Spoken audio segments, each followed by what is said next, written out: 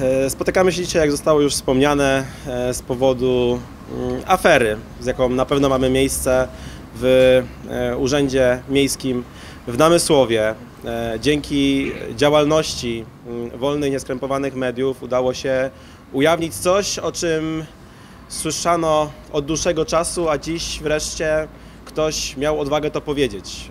W związku z tym my, jako przedstawiciele e, Polski 2050, jako po prostu obywatele, zatroskani o sytuację tych wszystkich osób, które mogą być pokrzywdzone e, w Namysłowie w związku z działalnością pana burmistrza Stawiarskiego, składamy zawiadomienie do prokuratury o możliwości popełnienia przestępstwa przez pana burmistrza Bartłomieja Stawiarskiego. Dochodzą do nas głosy, że tych ofiar e, może być więcej, że kolejne zeznania mogą się pojawiać w ciągu najbliższego czasu. E, W związku z tym dobrze by było, gdyby nie tylko przedstawiciele mediów wysłuchali te osoby, te kobiety, które mogą być pokrzywdzone przez pana Stawiarskiego e, anonimowo, e, ale żeby, mm, żeby te zeznania, które się pojawiają, te oskarżenia, wreszcie przybrały bieg prawny, żeby mogły być zweryfikowane i żeby także organy ścigania mogły podjąć stosowne kroki. Ja chciałbym powiedzieć o tych kwestiach formalnych naszego zawiadomienia. Dziś zdecydowaliśmy się w związku z tym, że sytuacja budzi ogromne em, emocje społeczne, złożyć zawiadomienie do prokuratury o możliwości popełnienia przestępstwa. E, Chodzi o przestępstwo, które w kodeksie karnym kwalifikowane jest e, w kategorii e, naruszenia wolności seksualnej i obyczaj, obyczajowości.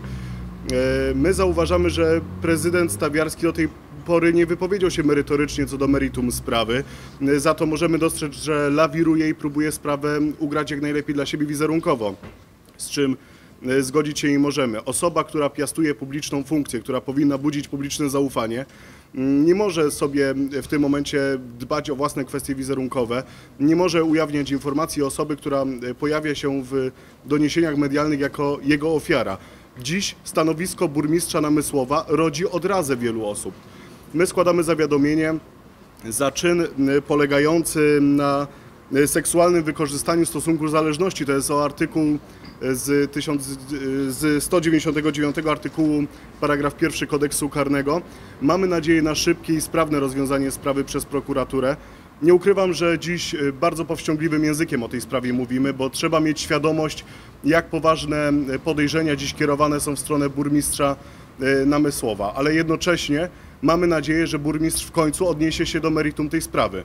Tym samym, jeśli tego nie uczyni w najbliższych dniach, a do tej pory tego nie zrobił, ja stawiam tutaj jedno konkretne pytanie. Zastanawiam się, czy burmistrz nie powinien zrezygnować z pełnienia przez siebie funkcji do momentu zakończenia postępowania przez stosowne e, organy.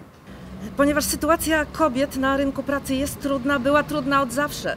Y, To nie jest nic nowego. Niemniej ostatnie kilka lat, y, kiedy w, instytucjach wszystkich zarządzanych przez jakąkolwiek władzę, y, szczególnie właśnie tą władzę pisowską, y, było na porządku dziennym, y, że, że praca stawała się towarem, y, na podstawie którego budowano swoje wpływy, swoją pozycję. Stąd po prostu nepotyzm, kumoterstwo, właśnie praca za łapówki, praca za seks stały się dość powszechnymi zjawiskami we wszystkich instytucjach właśnie zarządzanych y, przez polityków. Blisko 43% y, kobiety są dyskryminowane w ten sposób na rynku pracy, że pomniejsz- pomniejszane są ich kwalifikacje. Około 38% kobiet na tym samym stanowisku z podobnymi kwalifikacjami zarabia mniej niż mężczyźni.